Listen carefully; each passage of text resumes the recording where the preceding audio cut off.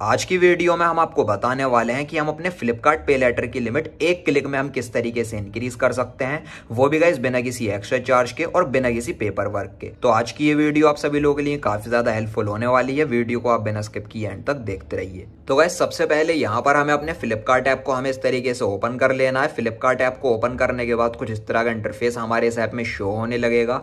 नीचे की साइड हमें अकाउंट का ऑप्शन देखने को मिलेगा। यहाँ पर हम क्लिक कर लेंगे और यहाँ पर फ्लिपकार्ट पे लेटर का ऑप्शन हमें देखने को मिलेगा। यहाँ पर पर हम इस तरीके से क्लिक कर लेंगे और फ्लिपकार्ट पे लेटर का हमारा डैशबोर्ड इस तरीके से ओपन हो जाएगा। और गाइज़ देखिए, मुझे यहाँ पर फ्लिपकार्ट की तरफ़ से पाँच की पे लेटर की लिमिट मिली हुई है तो पाँच का हमारा अमाउंट शो हो रहा है। और गाइज़ देखिए, फ्लिपकार्ट ने हमें लिमिट इंक्रीज करने के लिए एक ऑफ़र दिया है। यहाँ पर आप देख सकते हो लिखा हुआ है increase your credit limit to thirty thousand valid till second October तो गाइज़ यहाँ पर जो हमारी पाँच सौ रुपए की फ्लिपकार्ट पे लेटर की जो लिमिट है, वो तीस हज़ार रुपए में कन्वर्ट हो जाएगी। हमारी लिमिट इंक्रीज हो जाएगी। और गाइज़ देखिए ये जो ऑफ़र है, ये दो अक्टूबर तक वैलिड है। हम यहाँ पर दो अक्टूबर तक अपनी लिमिट को बढ़ा सकते हैं इंक्रीज कर सकते हैं। अगर हम दो अक्टूबर तक इसको इंक्रीज नहीं करेंगे तो ये ऑफ़र खत्म हो जाएगा एक्सपायर हो जाएगा। मतलब हमारे पास अभी पूरे दो महीने हैं, इस लिमिट को हम इंक्रीज कर सकते हैं बड़ी आसानी से। तो गाइज़ देखिए फ्लिपकार्ट ने अगर आपको भी लिमिट इंक्रीज करने का ऑफ़र दिया है तो वो आपको यहाँ पर इस जगह पर शो होने लगेगा, जिस तरीके से मेरे फ्लिपकार्ट पे लेटर में यहाँ पर शो हो रहा है। अगर ये ऑफ़र आपको यहाँ पर शो नहीं होता है तो गाइज़ देखिए फ्लिपकार्ट ऐप अपने यूज़र को लिमिट इंक्रीज करने का इस तरह का एक एसएमएस भी सेंड करता है, जिसमें लिखा हुआ है good news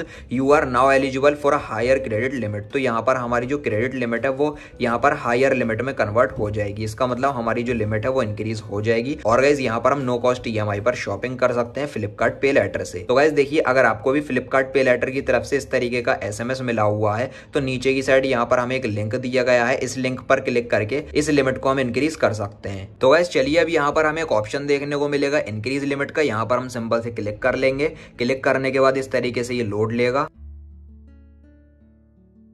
अभी गाइज़ यहाँ पर आप जैसा कि देख सकते हो, हमारे जो फ्लिपकार्ट पे लेटर की लिमिट है, वो सक्सेसफुली इंक्रीज हो चुकी है सिर्फ़ एक क्लिक में। यहाँ पर लिखा हुआ है हो रहा है लिमिट इंक्रीज तो हमारी लिमिट इंक्रीज हो चुकी है। तीस हज़ार रुपए की लिमिट हमारी शो हो रही है। और गाइज़ देखिए, ये जो हमारी फ्लिपकार्ट की तीस हज़ार रुपए की पे लेटर की जो हमारी लिमिट है, इसमें से चार हज़ार रुपए का बैलेंस हम एज अ पे लेटर यूज़ कर सकते हैं। इसका मतलब कोई भी हम यहाँ पर बिल पेमेंट कर सकते हैं चार हज़ार रुपए तक की। और यहाँ पर तीस हज़ार रुपए का जो बैलेंस है, इससे हम शॉपिंग कर सकते हैं, वो भी नो कॉस्ट ईएमआई पर। अगर इस पे लेटर की लिमिट से हम बिल पेमेंट करना चाहें तो पे नाउ का हमें यहाँ पर ऑप्शन देखने को मिलेगा। यहाँ पर हम क्लिक करके कोई भी बिल पेमेंट यहाँ से हम कर सकते हैं। और गाइज़ देखिए फ्लिपकार्ट पे लेटर की इस लिमिट को अगर हम रेगुलर यूज़ करते रहेंगे और इसका बिल अगर हम टाइम पर पे करते रहेंगे तो हमारा जो क्रेडिट स्कोर है, वो भी यहाँ पर इंप्रूव होता रहता है इनक्रीज होता रहता है। और अगर हमारा क्रेडिट स्कोर अच्छा होता है तो हमें किसी भी ऐप से पे लेटर की लिमिट मिल जाती है, या किसी भी बैंक से हमें लोन मिल जाता है, या फिर किसी भी ऐप के थ्रू हमें लोन मिल जाता है, और क्रेडिट कार्ड मिलने की भी काफ़ी ज़्यादा आसानी हमें हो जाती है। और गाइज़ देखिए फ्लिपकार्ट ऐप ने हमें इस तरीके का ऑफ़र दिया है।